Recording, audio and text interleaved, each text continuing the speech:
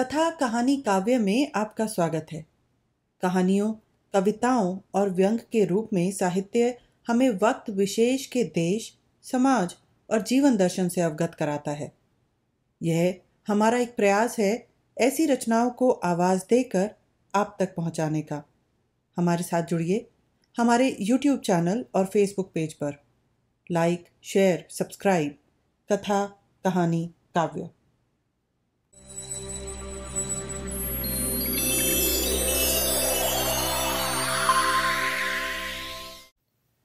मुंशी प्रेमचंद के उपन्यास गोदान का पंद्रवा भाग, मेरे यानी मनीषा के साथ। होरी मन मारे बैठा था कि पंडित दातादीन ने जाकर पुकारा। होरी की छाती धड़कने लगी। क्या कोई नई विपत्ति आने वाली है? आकर उनके चरण छुए और कौड़े के सामने उनके लिए माची रख दी। दातादीन ने बैठते हुए अनुग्रह के भाव से कहा अब की तो तुम्हारे खेत परती पड़ गए होरी। तुमने गाँव में किसी से कुछ कहा नहीं? नहीं भोला की मजाल थी कि तुम्हारे द्वार से बैल खोल ले जाता? यहीं लाहस गिर जाती। मैं तुमसे जनेऊ हाथ में लेकर कहता हूँ होरी, मैंने तुम्हारे ऊपर डांड ना लगाया था। धनिया मुझे नाहक बदनाम करती फिरती है। यह लाला पटेश्वरी और झिंगुरी सिंह की कारस्तानी है। मैं तो लोगों के कहने से पंचायत में बैठ भर गया था। वह लोग तो और कड़ा दंड लगा रहे थे। मैंने कह सुन के कम कराया। मगर अब सब जने सर पर हाथ धरे रो रहे हैं। समझे थे यहाँ उन्हीं का राज है। यह न जानते थे कि गाँव का राजा कोई और है।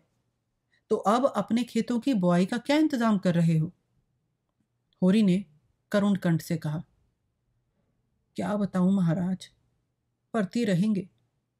पढ़ती रहेंगे? ये तो बड़ा अनर्थ होगा। भगवान की यही इच्छा है तो अपना क्या बस? मेरे देखते तुम्हारे खेत कैसे पड़ती रहेंगे? कल मैं तुम्हारी बुआई करा दूँगा। अभी खेत में कुछ तरी है। उपज दस दिन पीछे होगी, इसके सिवा और कोई बात नहीं। हमारा तुम्हारा आधा साझा रहेगा। इसमें ना तुम्हें कोई टोटा है, ना मुझे। मैंने आज बैठे बैठे सोचा तो चित्त बड़ा दुखी हुआ कि जुते जुताए खेत परती रह जाते हैं। होरी सोच में पड़ गया। चौमासे भर इन खेतों में खाद डाली, जोता और आज केवल बुआई के लिए आधी फ़सल देनी पड़ रही है। उस पर एहसान कैसा जता रहे हैं? लेकिन इससे तो अच्छा यही है कि खेत परती पड़ जाए और कुछ ना मिलेगा, लगान तो निकल ही आएगा। नहीं अब की बेबाकी ना हुई तो बेदखली आई धरी है। उसने यह प्रस्ताव स्वीकार कर लिया। दाता दिन प्रसन्न होकर बोले तो चलो, मैं अभी बीज तोल दूँ, जिसमें सवेरे का झंझट ना रहे। रोटी तो खा ली है ना? होरी ने लजाते हुए आज घर में चूल्हा न जलने की कथा कही। दाता दीन ने मीठे उल्हाने के भाव से कहा, अरे, तुम्हारे घर में चूल्हा नहीं जला और तुमने मुझसे कहा भी नहीं? हम तुम्हारे बैरी तो नहीं थे। इसी बात पर तुमसे मेरा जी कुड़ता है। अरे भले आदमी, इसमें लाशरम की कौन सी बात है? हम सब एक ही तो हैं। तुम शूद्र हुए तो क्या? हम बामन हुए तो क्या? हैं तो सब एक ही घर के?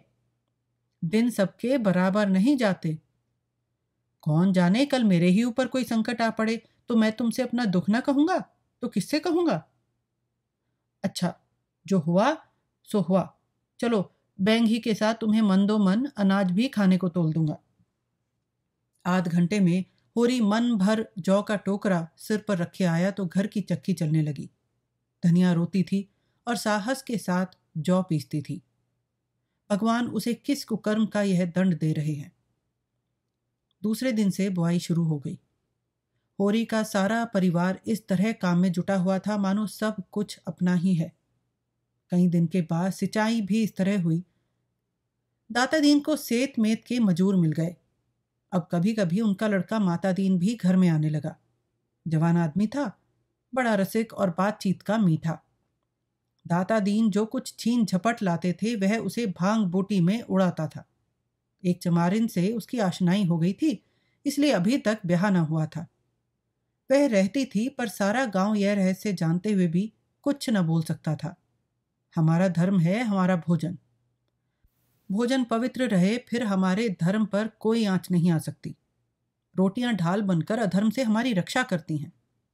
अब साझे की खेती होने से माता दीन और झुनिया से बातचीत करने का अवसर मिलने लगा। वह ऐसे दांव से आता, जब घर में झुनिया के सिवा और कोई ना होता। कभी किसी बहाने से, कभी किसी बहाने से। झुनिया रूपवती न थी, लेकिन जवान थी और उसकी चमारिन प्रेमिका से अच्छी थी। कुछ दिन शहर में रह चुकी थी। पहनना, ओढ़ना, बोलना, चालना जानती थी और लज्जाशील भी थी, जो स्त्री का सबसे बड़ा आकर्षण है। माता दीन कभी कभी उसके बच्चे को गोद में उठा लेता और प्यार करता। झुनिया निहाल हो जाती थी। एक दिन उसने झुनिया से कहा, तुम क्या देखकर गोबर के साथ आई झुना? झुनिया ने लजाते हुए कहा, भाग खींच लाया महाराज, और क्या कहूँ? माता दीन दुखी मन से बोला, बड़ा बेवफा आदमी है। तुम जैसी लक्ष्मी को छोड़कर न जाने कहाँ मारा मारा फिर रहा है। चंचल स्वभाव का आदमी है, इसी से मुझे शंका होती है कि कहीं और न फंस गया हो। ऐसे आदमियों को तो गोली मार देना चाहिए। आदमी का धर्म है, जिसकी बाह पकड़े, उसे निभाए। यह क्या कि आदमी की ज़िंदगी खराब कर दी और आप दूसरा घर ताकने लगे? युवती रोने लगी। माता दीन ने इधर उधर ताक कर उसका हाथ पकड़ लिया और समझाने लगा, तुम उसकी क्यों परवाह करती हो झूना चला गया, चला जाने दो। तुम्हारे लिए किस बात की कमी है? रुपए, पैसे, गहना, कपड़ा, जो चाहो मुझसे लो। झुनिया ने धीरे से हाथ छुड़ा लिया और पीछे हटकर बोली, सब तुम्हारी दया है महाराज, मैं तो कहीं की न रही। घर से भी गई, यहाँ से भी गई। न माया मिली, न राम ही हाथ आए। दुनिया का रंग ढंग ना जानती थी।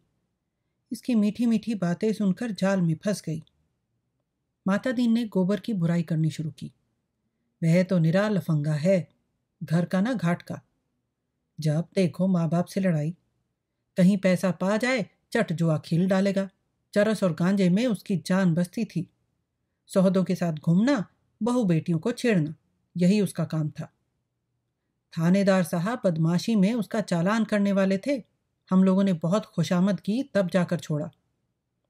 दूसरों के खेत खलिहान से अनाज उड़ा लिया करता था। कई बार तो खुद उसी ने पकड़ा था, पर गाँव घर समझकर छोड़ दिया। सोना ने बाहर आकर कहा, भाभी, अम्मा ने कहा है अनाज निकालकर धूप में डाल दो, नहीं तो चोकर बहुत निकलेगा। पंडित ने जैसे बघार में पानी डाल दिया हो। माता दीन ने अपनी सफ़ाई दी। मालूम होता है तेरे घर बरसात नहीं हुई। चौमासे में लकड़ी तक गीली हो जाती है। अनाज तो अनाज ही है। यह कहता हुआ वह बाहर चला गया। सोना ने आकर उसका खेल बिगाड़ दिया। सोना ने झुनिया से पूछा था, माता दीन क्या करने आए थे? झुनिया ने माथा सिकोड़ कर कहा, पघैया मांग रहे थे। मैंने कह दिया, यहाँ पघैया नहीं है। यह सब बहाना है, बड़ा खराब आदमी है। मुझे तो बड़ा भला आदमी लगता है। क्या खराबी है उसमें? तुम नहीं जानती, सिलिया चमार इनको रखे हुए है। तो इसी से खराब आदमी हो गया। और काहे से आदमी खराब कहा जाता है? तुम्हारे भैया भी तो मुझे लाए हैं, वह भी खराब आदमी है। सोना ने इसका जवाब ना देकर कहा, मेरे घर में फिर कभी आएगा तो तुत्कार दूँगी। और जो उससे तुम्हारा ब्याह हो जाए। सोना लजा गई। तुम तो भाभी गाली देती हो। क्यों? इसमें गाली की क्या बात है? मुझसे बोले तो मुँह झुलस तुम तो क्या तुम्हारा ब्याह किसी देवता से होगा?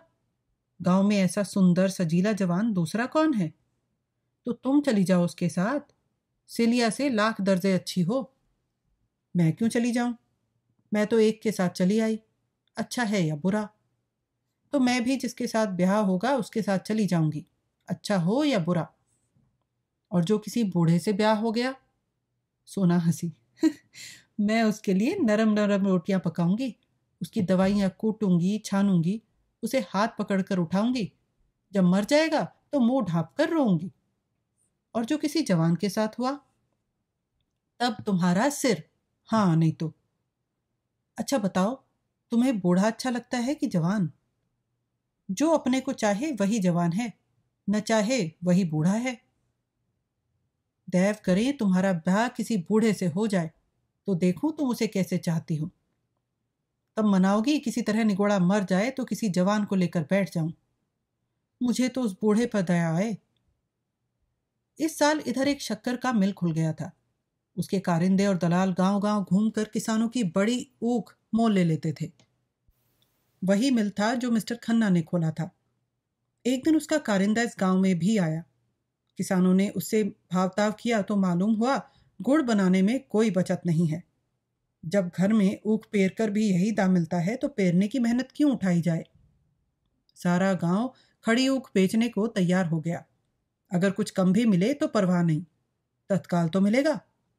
किसी को बैल लेना था, किसी को बाकी चुकाना था। कोई महाजन से गला छुड़ाना चाहता था। होरी को बैलों की गोई लेनी थी। अब की ऊख की पैदावार अच्छी न थी, इसलिए यह डर था कि माल ना पड़ेगा। और जब गुड़ के भाव मिल की चीनी मिलेगी तो गुड़ लेगा ही कौन? सभी ने बयाने ले लिए। होरी को कम से कम सौ रुपये की आशा थी। इसमें एक मामूली गोई आ जाएगी। लेकिन महाजनों का क्या करें? दाता दीन, मंगरू, दुलारी, सिंगुरी सिंह, सभी तो प्राण खा रहे थे। अगर महाजनों को देने लगेगा तो सौ रुपये सूद भर को भी न होंगे। कोई ऐसी जुगत न सोचती थी कि ऊख के रुपए हाथ में आ जाएँ और किसी को खबर ना हो। जब बैल घर आ जाएँगे तो कोई क्या कर लेगा? गाड़ी लदेगी तो सारा गाँव देखेगा ही। तौल पर जो रुपए मिलेंगे, वह सबको मालूम हो जाएँगे। संभव है मंगरू और दाता दीन हमारे साथ साथ रहें। इधर रुपए मिले, उधर उन्होंने गर्दन पकड़ी। शाम को गिरधर ने पूछा तुम्हारी ऊख कब तक जाएगी, होरी काका? होरी ने झांसा दिया। अभी तो कुछ ठीक नहीं है भाई। तुम कब तक ले जाओगे? गिरधर ने भी झांसा दिया। अभी तो मेरा भी कुछ ठीक नहीं है काका। और लोग भी इसी तरह की उड़न घाइयाँ बताते थे। किसी को किसी पर विश्वास न था। झिंगुरी सिंह के सभी ऋणिया थे और सबकी यही इच्छा थी कि झिंगुरी सिंह के हाथ रुपए न पड़ने पाए। नहीं, वह सबका हजम कर जाएगा। और जब दूसरे दिन असामी फिर रुपए मांगने जाएगा तो नया कागज़, नया नजराना, नई तहरीर। दूसरे दिन शोभा आकर बोला, दादा, कोई ऐसा उपाय करो कि झिंगुरी को हैजा हो जाए। ऐसा गिरे कि फिर ना उठे। होरी ने मुस्कुराकर कहा, क्यों? उसके बाल बच्चे नहीं हैं? उसके बाल बच्चों को देखें कि अपने बाल बच्चों को देखें। वह तो दो दो मेहरियों को आराम से रखता है। यहाँ तो एक को भी रूखी रोटी भी मैसर नहीं। सारी जमा ले लेगा। एक पैसा भी घर ना लाने देगा। मेरी तो हालत और भी खराब है भाई। अगर रुपए हाथ से निकल गए तो तबाह हो जाऊँगा। गोई के बिना तो काम ना चलेगा। अभी तो दो तीन दिन ऊक ढोते लगेंगे। ज्यों ही सारी ऊक पहुँच जाए, जमादार से कहें कि भैया कुछ ले ले, मगर ऊख चटपट तौल दे, दाम पीछे देना। इधर झिंगुरी से कह देंगे, अभी रुपए नहीं मिले। होरी ने विचार करके कहा, झिंगुरी सिंह, हमसे तुमसे कई गुना चतुर है शोभा। जाकर मुनीम से मिलेगा और उसी से रुपए ले लेगा। हम तुम ताकते रह जाएँगे। जिस खन्ना बाबू का मिल है, उन्हीं खन्ना बाबू की महाजनी कोठी भी है। दोनों एक हैं। शोभा निराश होकर बोला, न जाने इन महाजनों से भी कभी गला छूटेगा कि नहीं? होरी बोला इस जन्म में तो कोई आशा नहीं है भाई। हम राज नहीं चाहते, भोग विलास नहीं चाहते। खाली मोटा झोटा पहनना और मोटा झोटा खाना और मर्जाद के साथ रहना चाहते हैं। वह भी नहीं सदता।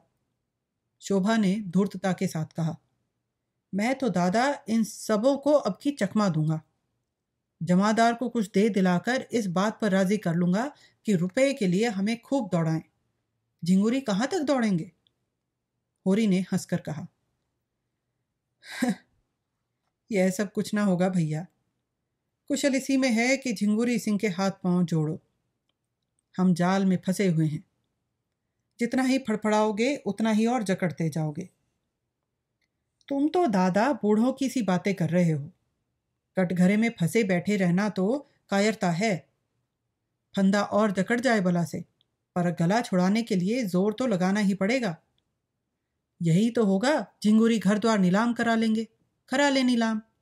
मैं तो चाहता हूँ कि हमें कोई रुपए ना दे, हमें भूख को मरने दे, लाते खाने दे। एक पैसा भी उधार ना दें। लेकिन पैसा वाले उधार ना दें तो सूद कहाँ से पाएँ?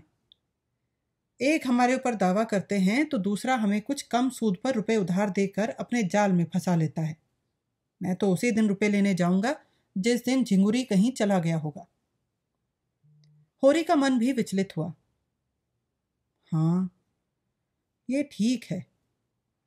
ऊक तुलवा देंगे, रुपए दाव घात लेकर ले आएँगे। बस बस, यही चाल, चलो। दूसरे दिन प्रातःकाल गाँव के कई आदमियों ने ऊख काटनी शुरू की। होरी भी अपने गाँव में गंडासा लेकर पहुँचा। उधर से शोभा भी उसकी मदद को आ गया। पुनिया, झुनिया, धनिया, सोना सभी खेत में जा पहुँची। कोई ऊख काटता था, कोई छीलता था, कोई पूले बांधता था। महाजनों ने जो ऊख कटते देखी तो पेट में चूहे दौड़े। एक तरफ़ से दुलारी दौड़ी, दूसरी तरफ़ से मंगरू साहब। तीसरी ओर से माता दीन और पटेश्वरी और झिंगुरी के प्यादे। दुलारी हाथ पाँव में मोटे मोटे चांदी के कड़े पहने, कानों में सोने का झुमक, आँखों में काजल लगाए, बूढ़े यौवन को रंगे रंगाए आकर बोली, पहले मेरे रुपए दे दो, तब ऊख काटने दूँगी। मैं जितना ही गम खाती हूँ, उतना ही तुम शेर होते हो। दो साल से एक धेला सूद नहीं दिया। पचास तो मेरे सूद के होते हैं। होरी ने घिघिया कर कहा, भाभी, ऊख तो काट लेने दो। इनके रुपए मिलते हैं तो जितना हो सकेगा तुमको भी दूँगा। न गाँव छोड़कर भागा जाता हूँ, न इतनी जल्द मौत ही आई जाती है। खेत में खड़ी ऊख तो रुपए न देगी। दुलारी ने उसके हाथ से गंडासा छीन कर कहा नीयत इतनी खराब हो गई है तुम लोगों की, तभी तो बरक्कत नहीं होती। आज पाँच साल हुए, होरी ने दुलारी से तीस रुपए लिए थे। तीन साल में उसके सौ रुपए हो गए। तब स्टाम्प लिखा गया। दो साल में उस पर पचास रुपया सो चढ़ गया था। होरी बोला सवाइन नीयत तो कभी खराब नहीं की, और भगवान चाहेंगे तो पाई पाई चुका दूँगा। हाँ आजकल तंग हो गया हूँ, जो चाहे कह लो। सवाइन को जाते देर नहीं हुई कि मंगरू साहब पहुँचे। काला रंग, तोंद कमर के नीचे लटकती हुई, दो बड़े बड़े दांत सामने जैसे काट खाने को निकले हुए, सिर पर टोपी, गले में चादर। उम्र भी पचास से ज़्यादा नहीं पर लाठी के सहारे चलते थे। गठिया का मरज हो गया था। खांसी भी आती थी। लाठी टेक कर खड़े हो गए और होरी को डांट बताई। पहले हमारे रुपए दे दो होरी, तब ऊख काटो। हमने रुपए उधार दिए थे, खैरात नहीं।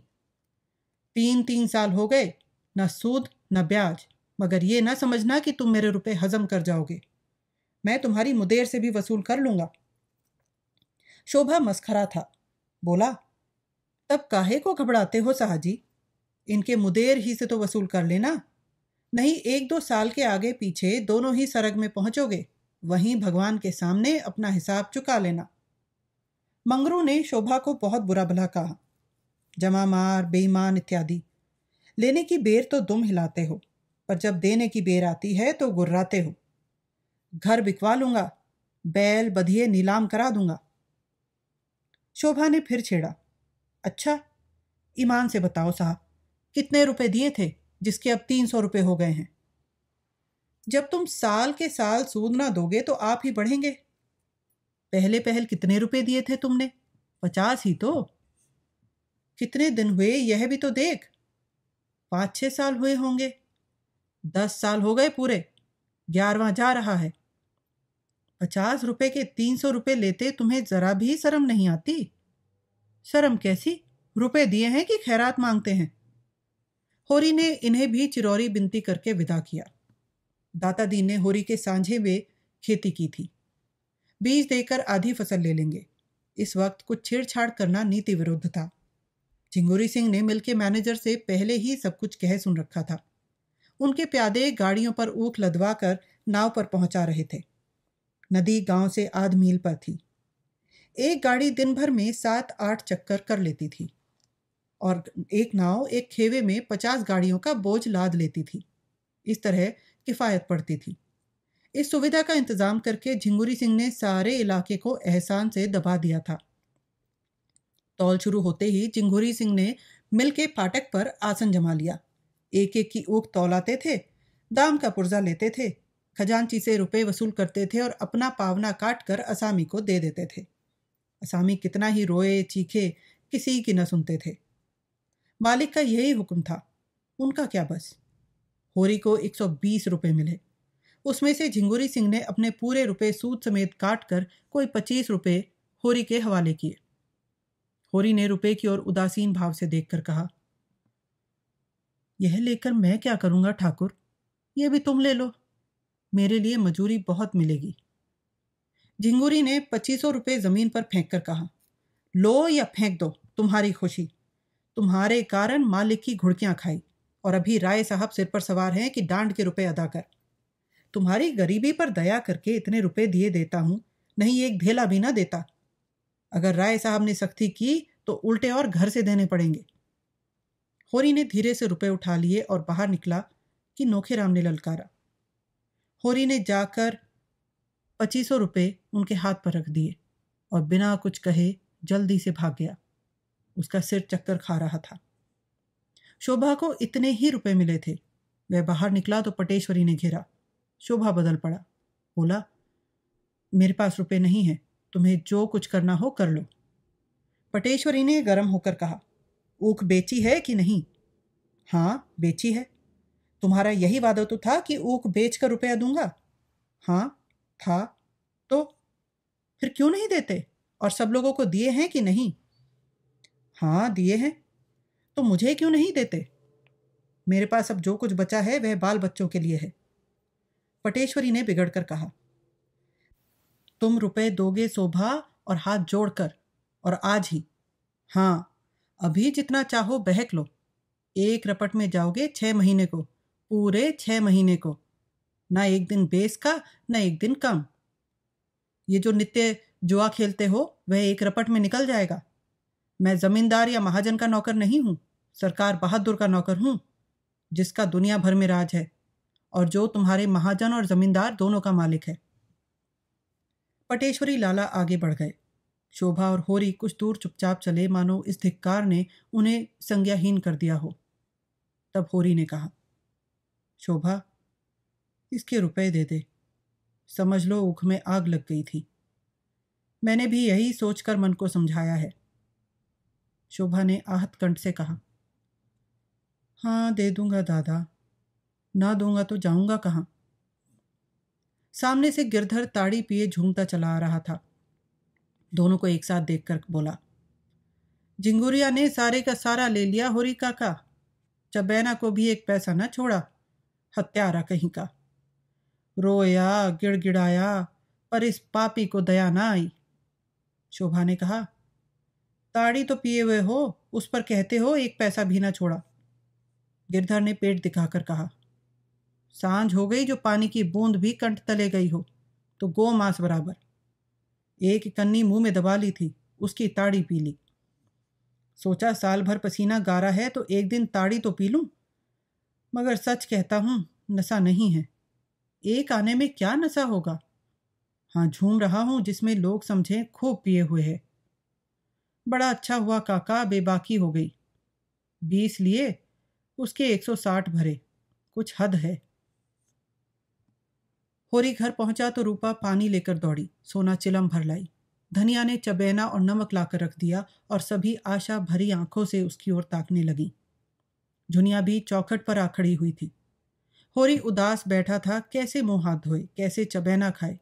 ऐसा लज्जित और ग्लानित था मानो हत्या करके आया हो। धनिया ने पूछा, कितने की तौल हुई? 120 मिले, पर सब वहीं लुट गए। ढीला भी न बचा। धनिया सिर से पाँव तक भस्म हो उठी। मन में ऐसा उद्वेग उठा कि अपना मुँह नोच ले। बोली, तुम जैसा घामड़ आदमी भगवान ने क्यों रचा? कहीं मिलते तो उनसे पूछती। तुम्हारे साथ सारी ज़िंदगी तलक हो गई। भगवान मौत भी नहीं देते कि जंजाल से जान छूटे। उठाकर सारे रुपए बहनोइयों को दे दिए। अब और कौन आमदनी है जिससे गोई आएगी? हल में क्या मुझे जोतोगे या आप जोतोगे? मैं कहती हूँ, तुम बूढ़े हुए। तुम्हें इतनी अकल भी नहीं आई कि गोई भर के रुपए तो निकाल लेते? कोई तुम्हारे हाथ से छीन थोड़ी लेता? उसकी यह ठंड किसी और की देह पर लगता नहीं। ले जाओ सबको नदी में डुबा दो। सिसक सिसक कर मरने से तो एक दिन मर जाना फिर अच्छा है। कब तक पुआल में घुसकर रात काटेंगे। और पुआल में घुस भी लें तो पुआल खाकर रात हो न जाएगा। तुम्हारी इच्छा हो तो घास ही खाओ। हमसे तो घास ना खाई जाएगी। यह कहते कहते वे मुस्करा पड़ी। इतनी देर में उसकी समझ में यह बात आने लगी थी कि महाजन जब सिर पर सवार हो जाए तो अपने हाथ में रुपए हों और महाजन जानता हो कि इसके पास रुपए हैं तो असामी कैसे अपनी जान बचा सकता है? होरी सिर नचा किए अपने भाग्य को रो रहा था। धनिया का मुस्कुराना उसे न दिखाई दिया। बोला, मजूरी तो मिलेगी, मजूरी करके खाएँगे। धनिया ने पूछा, कहाँ है इस गाँव में मजूरी? और कौन मुँह लेकर मजूरी करोगे? मैं तो नहीं कहलाते। होरी ने चिलम के कई कश लगाकर कहा, मजूरी करना कोई पाप नहीं है। मजूर बन जाए तो किसान हो जाता है। किसान बिगड़ जाए तो मजूर हो जाता है। मजूरी करना भाग्य में ना होता तो यह सब विपत क्यों आती? क्यों गाय मरती? क्यों लड़का नालायक निकल जाता? धनिया ने बहू और बेटियों की ओर देखकर कहा, तुम सब की सब क्यों घेरे खड़ी हो? जाकर अपना अपना काम देखो। वह और हैं जो हाट बाज़ार से आते हैं तो बाल बच्चों के लिए दो चार पैसे की कोई चीज़ लिए आते हैं। यहाँ तो यह लोभ लग रहा होगा कि रुपए तुड़ाएँ कैसे? एक कम ना हो जाएगा। इसी से इनकी कमाई में बरकत नहीं होती। जो खर्च करते हैं, उन्हें मिलता है। जो ना खा सकें, ना पहन सकें, उन्हें रुपए मिले ही क्यों? ज़मीन में गाड़ने के लिए? होरी ने खिलखिलाकर पूछा, कहाँ है वह गाड़ी हुई थाती जहाँ रखी है वहीं होगी। रोना तो यही है कि यह जानते हुए भी पैसों के लिए मरते हो। चार पैसे की कोई चीज़ लाकर बच्चों के हाथ पर रख देते तो पानी में ना पड़ जाते। झिंगूरी से तुम कह देते कि एक रुपया मुझे दे दे, नहीं तो मैं तुम्हें एक पैसा न दूँगा। जाकर अदालत में लेना तो वह ज़रूर दे देता। होरी लज्जित हो गया। अगर वह झल्ला कर पच्चीसों रुपये नोखेराम को ना देता तो नोखे क्या कर लेते? बहुत होता, बकाया पर दो चार आना सूद ले लेता, मगर अब तो चूक हो गई। जूनिया ने भीतर जाकर सोना से कहा, मुझे तो दादा पर बड़ी दया आती है। बेचारे दिन भर के थके मांदे घर आए तो अम्मा कोसने लगी। महाजन गला दबाए था तो बेचारे क्या करते? तो बैल कहाँ से आएँगे? महाजन अपने रुपए चाहता है उसे तुम्हारे घर के टुकड़ों से क्या मतलब? अम्मा वहाँ होती तो महाजन को मज़ा चखा देती, अभागा रोक कर रह जाता। जूनिया ने दिल लगी की तो यहाँ रुपए की कौन कमी है? तुम महाजन से जरा हंस कर बोल दो, देखो सारे रुपए छोड़ देता है कि नहीं? सच कहती हूँ, दादा का सारा दुख दलिद्र दूर हो जाए। सोना ने अपने दोनों हाथों से उसका मुँह दबाकर कहा, बस छुपी रहना, नहीं कहे देती हूँ। अभी जाकर अम्मा से माता दीन की सारी कलई खोल दूँ तो रोने लगो। जुनिया ने पूछा, क्या कह दोगी अम्मा से? कहने को कोई बात भी तो हो। जब वह किसी बहाने से घर में आ जाते हैं तो क्या कहूँ? निकल जाओ। फिर मुझसे कुछ ले तो नहीं जाते। कुछ अपना ही दे जाते हैं। सिवाय मीठी मीठी बातों के वह जुनिया से कुछ नहीं पा सकते और अपनी मीठी बातों को महँगे दामों बेचना भी मुझे आता है। मैं ऐसी अनाड़ी नहीं हूँ कि किसी के झांसे में आ जाऊँ। हाँ जब जान जाऊँगी कि तुम्हारे भैया ने वहाँ किसी को रख लिया है, तब किसी की नहीं चलाती। तब मेरे ऊपर किसी का बंधन न रहेगा। अभी तो मुझे विश्वास है वह मेरे हैं और मेरे ही कारण उन्हें गली गली ठोकर खाना पड़ रहा है। हंसने बोलने की बात न्यारी है, पर मैं उनसे विश्वासघात ना करूँगी। जो एक से दो का हुआ, वह किसी का नहीं रहता। शोभा ने आकर होरी को पुकारा। और पटेश्वरी के रुपए उसके हाथ में रखकर बोला, भैया, तुम ये रुपए ले जाकर लाला को दे दो। मुझे उस घड़ी न जाने क्या हो गया था।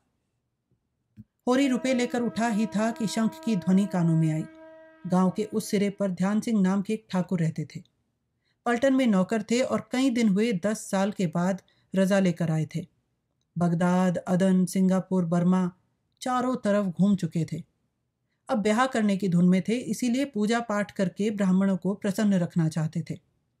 होरी ने कहा, जान पड़ता है, सातों अध्याय पूरे हो गए, आरती हो रही है। शोभा बोला हाँ जान तो पड़ता है। चलो, आरती ले लो। होरी ने चिंतित भाव से कहा, तुम जाओ, मैं थोड़ी देर में आता हूँ। ध्यान सिंह जिस दिन आए थे, सबके घर शेर शेर भर मिठाई बेना भेजा था। होरी से जब कभी रास्ते मिल जाते, कुशल पूछते। उनकी कथा में जाकर आरती में कुछ न देना अपमान की बात थी। आरती का थाल उन्हीं के हाथ में होगा। उनके सामने होरी कैसे खाली हाथ आरती ले लेगा? इससे तो कहीं अच्छा है कि वह कथा में जाए ही नहीं। इतने आदमियों में उन्हें क्या याद आएगी कि होरी नहीं आया? कोई रजिस्टर लिए तो बैठा नहीं है कि कौन आया कौन नहीं आया। वह जाकर खाट पर लेट रहा, मगर उसका हृदय मसोस मसोस कर रह जाता था। उसके पास पैसा भी नहीं है, तांबे का एक पैसा। आरती के पुण्य और महात्म्य का उसे बिल्कुल ध्यान न था। बात थी केवल व्यवहार की। ठाकुर जी की आरती तो वह केवल श्रद्धा की भेंट देकर ले सकता था। लेकिन मर्यादा कैसे तोड़े? सबकी आँखों में हेटा कैसे बने?